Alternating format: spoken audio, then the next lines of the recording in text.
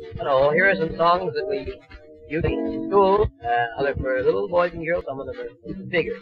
They all seem to enjoy them. And first of all, we have the rather sad story about a fellow who was standing on the corner of the street. First thing he knew, he got picked up on a vagrancy charge and landed in the county hoosgow. Here's the tale. Now I was standing round the corner, I wasn't doing any harm. Along came a policeman and he took me by the arm. He took me to a little box and there he rang the bell.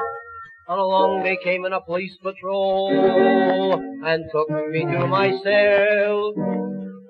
When I woke up next morning, I gazed upon the wall. Oh, the cooties and the bedbugs was having a game of ball. The score was 1920. The bedbugs was ahead. The cooties knocked the home run and they knocked me out of bed. When I went in to breakfast, the toast was hard and stale. The coffee tasted very bad, the kind you get in jail.